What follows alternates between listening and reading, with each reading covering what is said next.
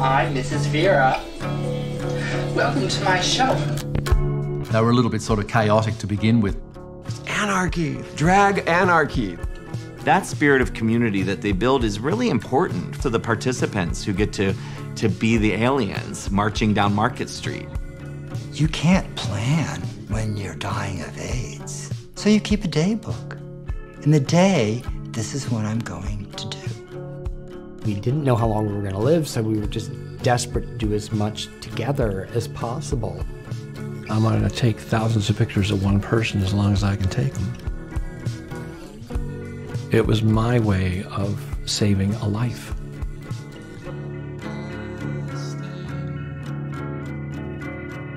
Interesting to look back over the last 25 years and see uh, the development, uh, particularly in, in the Mrs. Vera costumes. They were a little bit sort of chaotic to begin with, but if you look closely now, they're like couture. It's ridiculous how brilliant they are.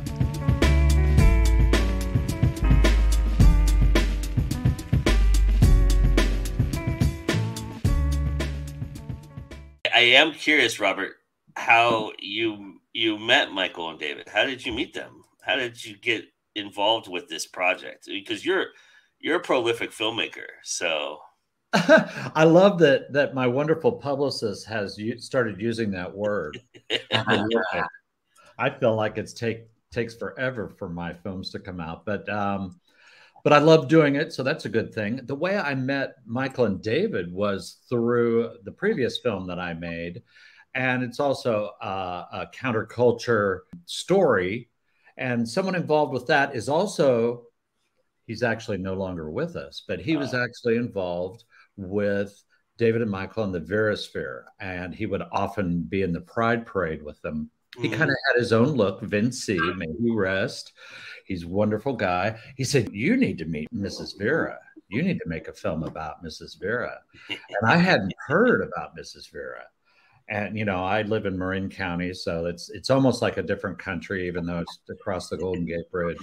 And so I went to the city one day, and I and I met Michael, and first of all, I was struck by where he lives. You know, he's got this apartment that is just like a, a, a color and pop culture explosion. And I just, I was smitten right away. And then he started showing me pictures, pictures of David as Mrs. Vera um, in the actual day book. Mm. And um, and I Well, that just must be a treat. Yeah, I just knew that uh, I wanted to tell the story. So that's Yeah. where it all began. I, I'm curious for for you guys. What did you think about being approached to do a film? And uh, you know, because this is a very very personal telling of of everything you've been through, and, and so kind of was there hesitation on your part at all? Did you? I mean, you guys are artists, so I imagine you're you're and you've done film, so it's not like unfamiliar territory to you. But is is was there a certain hesitation because it was so such a personal story you were going to tell? we we didn't really have a lot of hesitation just because we ascertained right away that Robert was going to tell a really good story and that Mm. all we really had to do is is show up and be ourselves in it. So um, I looked at it as, as you know this really fortunate opportunity Um because I you know I would never like ask someone to make a film about myself and to have Mm. one to ha- you know you know to be central to the, this film was um, incredible. And you know, we didn't think our story would be told. We were trying to leave a body of photographs as evidence of of our work. Right. Um, and if you know, I figured if there was a film made, it would probably be like a student film or you know, start and stop. But you know, Robert bought like this this full cinematic package to to tell the story, and all all we really had to do was um, just be honest and be ourselves in it. So it you know, it was great. So for me, um, well, I'm a Leo, so the camera's on, right? So,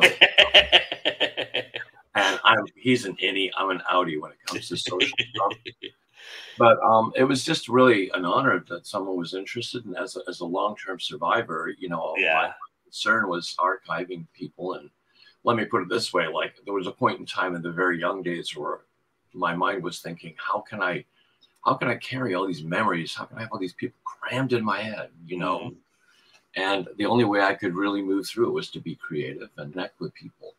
But to have someone come in and do the short, first of all, Verasphere, a love story in costume, which is really when we met, what I loved about talking to Robert as I was showing my daybook pictures was I said to David, I said, Well, he said he sees it as a love story. And that was it. That sealed the deal. And Ah. it was great, you know, from an archival perspective, from our, our relationship perspective, and for, you know, because we're so collaborative. That Yeah. it, just, um, it really documents that as well.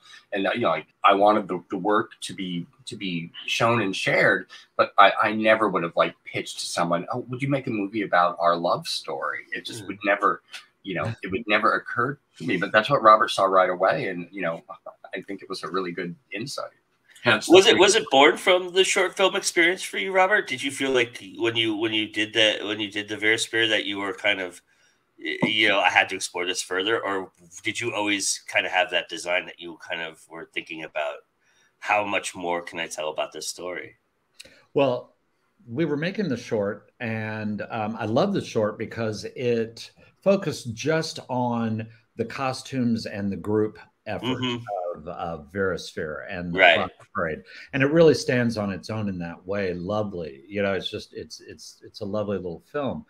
But as I got to know Michael and David, I I found this bigger story, and I Yeah. always wanted to tell it and I, you know, these poor guys are tired of hearing me say it, but I, I had this young crew, you know, there are these, and you know, my crew is two people besides me. And they're these young little heterosexual guys that love telling my queer stories with me. They just persevered through the four years it took for me to make my previous film because we were doing other things at the same time. And they're Yeah. like, oh, please, please don't do a feature just now. Please let us film and, and take it to festivals. And, and I was like, okay, but we're going to make a feature out of it after that. and when I got time to make the feature, I really, you know, um, kind of crashed their world and said, you can't use any of the footage from the short. They, they need to be com- two completely separate films. Otherwise, it's just going to look like an extended short. yeah, yeah, You know, and I want it to stand alone, and it does. So we were able because um, I had a little relationship with um, local PBS station when everybody was sheltered during Pride Month.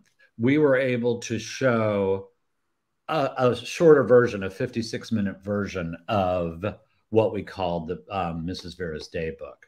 And that's why when we got back to shoot, David finished the mural and we put in the little COVID section about how they got through it. We added the unabridged. I just think the decision to, to end with COVID made the film so um, poignant. Um, to Yeah. like recapitulate what I mean. It's basically about our history with a previous epi- epidemic, pandemic, Yeah, and now, um, you know, which was very targeted in its demographic, and now we're going through this another huge one um, that can affect anyone. So I think the film captured how sobering that moment really is for us as a culture. the the fascinating thing for me about watching this journey unfold is the interesting kind of dichotomy of we've come so far but we haven't come far enough. And every time that we get to a place where we get further it kind of knocks us back a and you guys live that. I'm kind of curious from your perspective how how you feel like uh, time has helped and and kind of where you're at at this point in your lives Well, the thing I noticed about COVID, and I used to say it because I mean I lived through all the stuff where they wanted to quarantine people with AIDS and, and yeah all this all this horrible stuff going on yeah because of the disease. But this one, man, well, they wouldn't even mention AIDS for years and years and years. Yeah. Say the word. But you know, fast forward to now, we have this massive thing that is in a lot of ways far worse and quick killer. And I feel it's been swept away. Like, yeah oh yeah, that was that. That was last week's TV Guide episode. You know, yeah there's been a lot of um you know i think a lot of stuff has been distorted by our weird media milieu in, in this in this country And Yeah. in general like the amount of acceptance that uh, i feel now compared to when i was young is you know it's i think it's gotten way better and i Yeah. think you know the things like science the things that, that people complain about are actually like you know making big advances and and the the level of acceptance I think you know is is so much greater but it's so vocal the opposite you know it just it's really it's really tough to think we have to like relitigate all these battles with this minority of people. Yeah, but that's where we're at. Was as if the politics and the policies are the disease. Robert, with documentaries, and you know this probably all too well, and you you've actually kind of touched on it already. The idea of you had a you had a plan going in, you had an idea of what you wanted to do, especially having done the short. I would imagine you had it probably even more of a of a deeper plan. But was there something in here beyond the COVID aspect of it that you didn't expect, or was that it? Well, you you way overestimate me by saying that I had a plan going in because I, I really never do. And okay. you Well, that's a great way to approach it, though. Well, absolutely. I, Yeah. I you know, I, I heard a producer say one time, and I completely agree that if the hair on the back of my neck stands up, it's the right project. Yeah, nice. And um, I got that. I got that special feeling, and I knew by just looking at the living spaces of David and Michael and the the generous nature that they had, and the photographs that I wanted to explore it for sure. And I'm never one, you know, I'm not a really good filmmaker in the vein of, you know, doing a budget and making a plan and, you know, reaching out and crowdfunding and doing all the things you're supposed to do as a filmmaker and thus satisfy your tax people later on, which I'm having a little battle with. But yeah, I, I go in cameras rolling you know and and then figure it out later. I think probably my strongest suit is that i immerse myself in the process and and i get good access i get trust with my subjects. Mm. i kind of fall in love with all my different film subjects. You know they're all still a part of my life. That's what uh, brings the story because they're not afraid to tell me the story you Yeah. know and i think by by having a little bit of a body of work they can look at my work and know that there's not going to be a, an exploitation. There's not going to be a bad way to tell it you know through my eyes.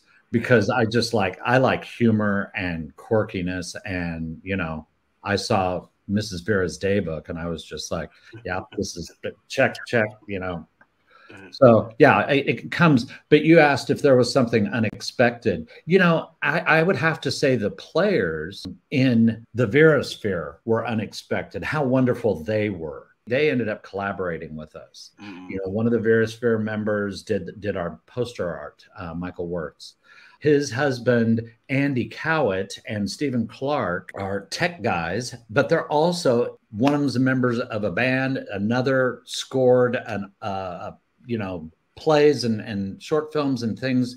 And they did the the um, original music. And ruby reiki did photographs for our website. Um, you know so the Verasphere was very involved and getting to know them was the surprise and, and wonderment. And you know i think my favorite part one of my favorite parts is when Michael and David would bring all the costumes from Treasure Island and you know fill the, the basement. They don't even do it that way anymore, but this was kind of the standard for a long time. And people would come over and you know and not really know what they were going to wear. And so the try-ons and they're very intuitive and wonderful. They're like, "Ooh, I know this giant birdcage hat that will go with that, with that that tiki magazine dress that you're wearing." And well, no, let's add a hoop skirt to it. You know, Yeah. a giant, you know, whatever. And I, I also love that one one of the times the outfitting was going on, a woman was walking by and she just she said, "What's going on here?" And we brought her in, and she ended up getting dressed and marched with them Ah, off the street, you know. And I don't think that's the first time that's happened to them, but I got to witness it, and it was it was glorious. It's that kind of synergy I love. Like the, the way that I was so thrilled that Stephen Clark and Andy Cowett and Michael Wirtz were, were involved. Yeah. In because that's what I do. I mean, Yeah. I love that kind of community aspect. No one expects anything.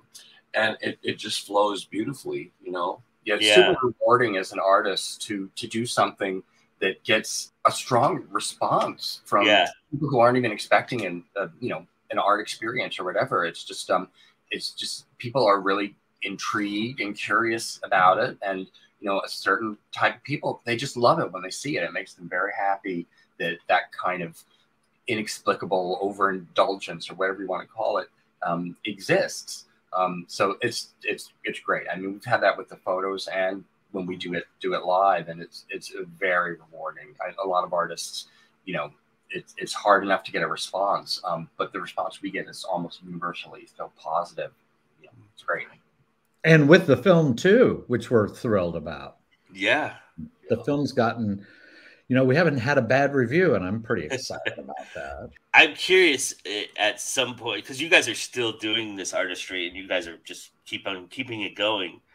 Does that fulfillment? I don't want to say SERP the daybook, but because the daybook was important for the aspect of documenting this, just because you didn't know if you were going to have a next day. Now that you you guys have gone through this period of time and have gone and evolved is has it evolved beyond the daybook for you I, it has definitely and we've actually discussed this i mean we have thousands of photographs but it was as you say it was a separate thing it was about yeah uh, you know this the isolation the psyche and you know the things that keep us away and yeah the effects of illness and you know as things moved along it started with three four people came with us suddenly it was five six people and then all of a sudden it was 20 and I thought, let's just roll with this. But we have really, I don't, we haven't done a Vera shoot in quite some time because mm-hmm.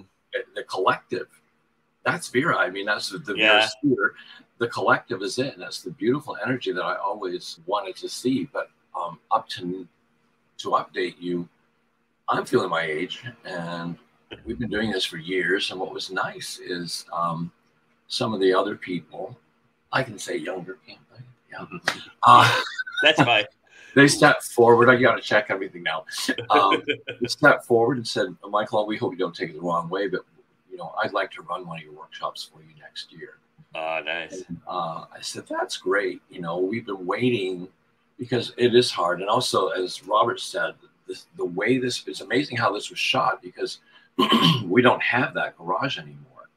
You know, and it's harder to get things done, but." yeah definitely uh, as- uh, in my mind we even discussed it i was like you know i don't think the daybook series is over but to me the daybook is the daybook and then the verasphere is another kind of daybook yeah and and our um, you know our people could see that it was taking a lot out of us so they were Yeah. they, they've been looking for a, a way to do it and and in a way having the, the movie it was a real game changer because you know we always doubted that the story would be told Mrs. Vera's Daybook. The story of two queer artists and the costumes that followed.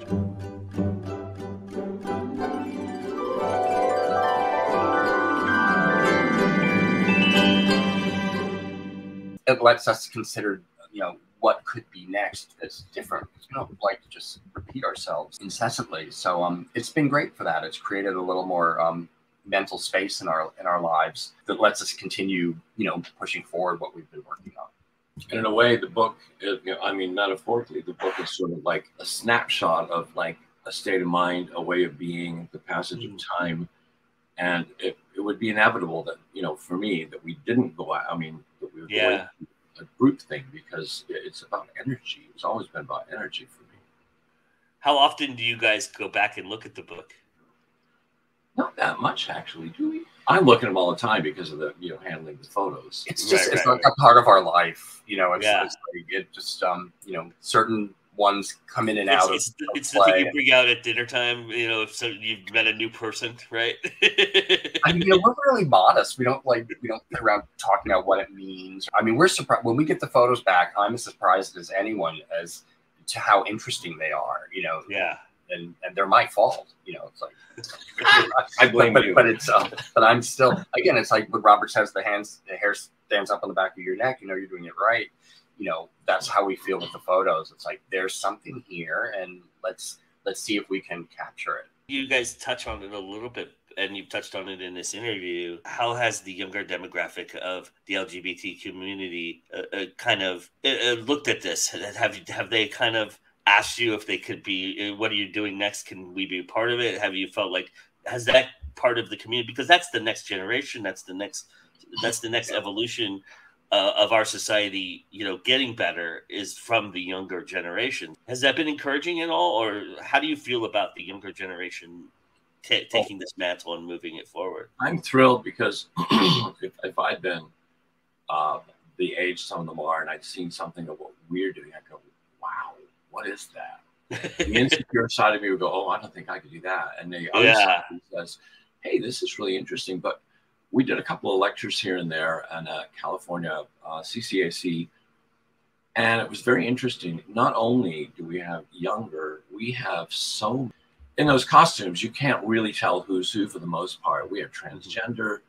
Uh, we have younger people. I made an effort as a 68 year old to bring in some of my peers because a lot of my peers, guys usually, uh, you know, their, their world has not been, you know, quite as madcap. And, you know, they'd say things about it. I go, well, we'll dress you. Come on, we'll, we'll dress you. And that for me is, is the kind of uh, intergenerational thing that I really like because the stigma of HIV really affected our community at so many levels, Yeah. especially younger people, older people. Yeah, I think uh, the, our group resonates for a certain type of younger uh, gay or non-binary person because the the orientation, gender, age, it's indistinguishable. like, in our group, if if you're a transgendered person and used to all this like attention that people focus on your transgenderism, here you are just in a group where that that just doesn't matter. Nobody's even thinking about any of the stuff that you have to carry around with you every, every day. And a lot of younger people, I think, um, they have a different relationship to the, the parade than we do, in that they're they're angry and rightfully so, and they want you know they want less corporate. They want what they want, and it's not Yeah. necessarily what our generation wants. And it's it's sort of their time. Um, but I still like to have that presence, you know, in the parade that it, it can still be a parade and it should be what, what you make it. It shouldn't be what other people tell you tell you to do. We have met a lot of really young people, and it's a real honor that they want to hang out with all these old fogies. And the thing they all have in common is an enthusiasm to look really, really crazy, and that expresses something from within that I think uh, unifies the whole group. and we've had uh, people come in um, who would see our jackets or see what we do. And one of my favorite things was last year when, oh, about six students who had seen some of the things and told their friends showed up in their own costumes and were so into it. And we had another, we had a uh, F to M transgender who wanted to be in the parade and had had top surgery and didn't want to wear anything here what was so great is that he said later, I just felt like myself. I didn't feel categorized or pigeonholed. And it's like, well, that's because we look like the perfect aliens. Year by year, more and more friends have joined us, and now it's just, you know, an enormous parade of our own, basically. And it's been really inspiring to watch Michael and David adapt and evolve to the growing group. Well, in regards to the film, I've been interviewed by a lot of young people. Um, I've talked to a lot of young people in audiences. And what I'm most happy about is that we're able to talk about a dark period of history with a story that doesn't stay dark. Yeah. If you if you want to find out about the AIDS crisis, there is certainly tear-jerking documentaries to be found. And Yeah. they're all valid and they all tell the story but we just tell it in a different way. Our story is about two people that that made it. Not everyone did. What's great about it is as far as the activism is is it's not an aids film you know? It's it's a film about their experience through the AIDS crisis. And they both happened to be involved in historic activism. David was in New York and um, involved with his partner at the time in ACT UP, and Michael actually made panels and led workshops on how to make panels for the Names Project, which I always knew as the AIDS quilt at the March on Washington. I think, you know, you asked a question earlier about what struck me, and I'm like, you know, I was absent, you know, you know, thanks to drugs and alcohol, I don't really remember the 1980s.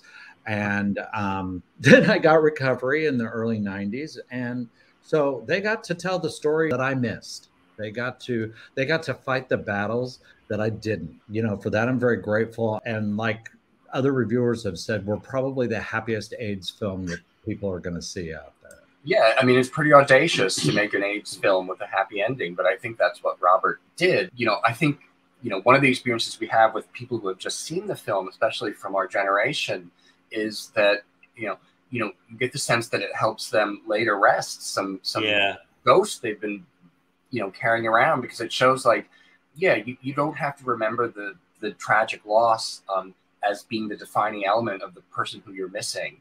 Um, you know, you want to remember them for what you loved about them, and I think Yeah. the film really opens that door for people um, while not minimizing what caregivers and people with the disease itself um, had to go through. And I can honestly say, I mean, I I was well into having HIV since maybe '81, and we met in '90, what two, three. Um, I had been through. I mean, for all the light and funny, hilarious things, there is so much darkness, shadows and light. There's so much darkness, uh, so much unhappiness. My writing was very sober, and, and I was just this young person trying to figure out at the time what the heck is this mm-hmm. that's going on, and how do I creatively work with it? Meanwhile, helping people to pass on or seeing them go blind or what have you. And I nearly died four times. To move from that into what we do, it was the only way. Yeah, we have a gentle punk aesthetic. I think that it's just not very typical. You know, Yeah. we're not it, our art. We go to some lengths to not be political because we don't want to exclude anyone. So it's just it's just about other kinds of characteristics. You guys have been independent artists for a very long time. What does that mean to you? What does it mean to be an independent artist? What do you love about being independent?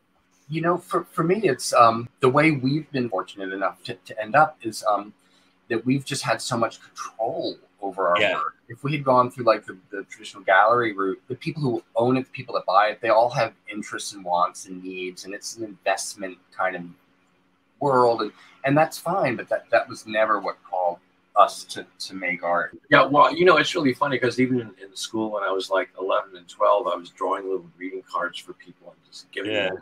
I was, you know, later on painting rocks and writing things on the back and leaving them out where people would find them. So the, independence is there. No one said you can or can't do that.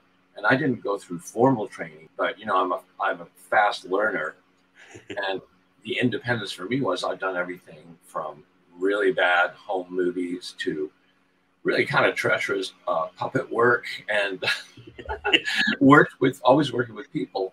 So I, I look at that that perspective and I go, okay, here's the independent artist, and then I go into the Names Project, and again, I'm still doing what I want to do, but involving people, freedom is what it says to me. I mean, financially, not so much, but we have freedom. Oh, being an independent filmmaker, you know, it's great. My husband's older than me, and we like to travel. I like to cook. I've got a dog. I've got a recovery program, you know, so I don't just make films and I want to do it when I have time. And I've got a, a part time crew, and I don't want anybody, I don't really want to hear anybody else's opinion uh, about, you know, where to, you know, place this part of the film in Yeah. part. And, you know, I trust my crew. I value their opinion. They get creative, you know, license to to help me. And, you know, we're tight and we and we do our stuff when we have time. And I, I'm not on a time limit. I'm not on restrictions. We don't have out, input from others much unless we ask for it. There does come a time when we do test audiences and things Sure. like that, but and ask for Yeah, you ultimately want somebody to see it. Oh, of course, of course. But in the filmmaking process, you know, I don't, I, I really don't want to hear. Like Michael said, it's freedom. And, you know, we don't get outside investors yet. You know, this this film put me a little bit on the map, and I've got other things that are happening right now, and I'm like, oh Nice. oh my, who's gonna, you know, we might have to hire more people. You know, we got, you know, who's gonna start who's going to start dipping their you know their opinions and their and their agendas into my my work and Yeah. Uh, about the time that starts i'll we'll just plan a trip somewhere we'll just